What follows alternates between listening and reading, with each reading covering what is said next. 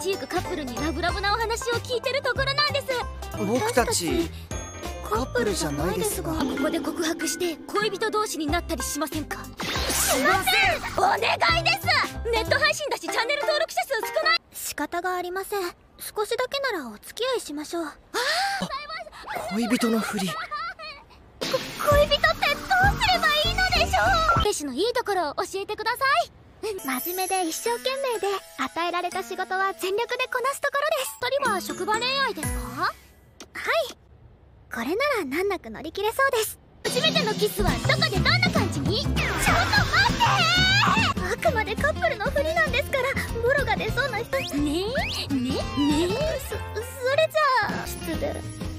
二人っきりの時に今度給湯室で平常心を保てる気がしない。あらいい方！これじゃ次は彼氏に質問です。ではまず彼女の好きなところは？し篠崎さん。一緒にいてめっちゃ楽しいし本当に出会えたのが奇跡っていうか。しししし篠崎さん。抱きしめ。それじゃあ2人の初体験はいつどこで？初俺の家に来た時。2回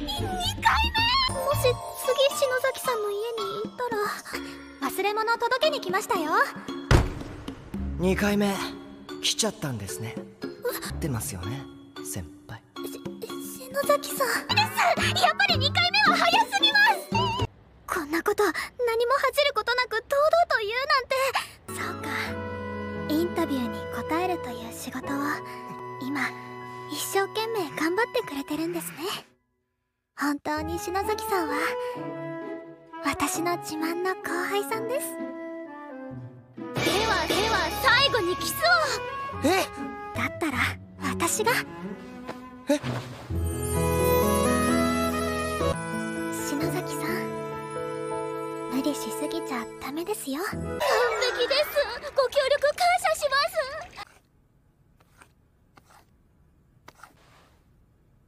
す。なんか面白い動画あるかな？